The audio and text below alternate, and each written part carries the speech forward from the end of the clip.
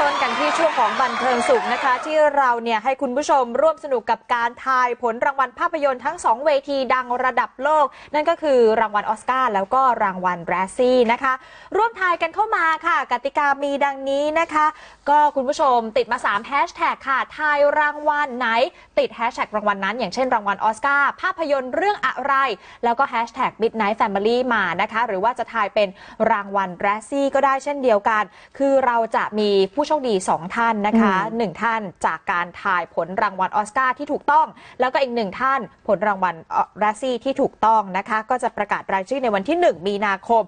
2559 หลังการประกาศผลจริงค่ะ